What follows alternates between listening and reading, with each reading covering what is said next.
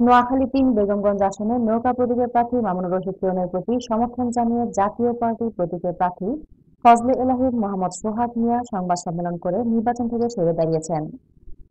শুক্রবার রাতে বেগমগঞ্জ উপজেলা আওয়ামী লীগের অস্থায়ী কার্যালয়ে তিনি নির্বাচন থেকে সরে দাঁড়ানোর ঘোষণা দিয়ে মহাজোটের প্রার্থী মামুনুর রশিদ কিরণের হাতে নাঙ্গল প্রতীক তুলে দেন। আমরা ভাই ভাই হিসেবে কাজ করব। মহাজোটের হাতকে শক্তিশালী করার জন্য আমরা জনাব মামুনুর রশিদ কিরণ সাহেবকে এবং নৌকা মার্কাকে সমর্থন দিয়ে আপনাদের কাছে আমি অনুরোধ করব আমরা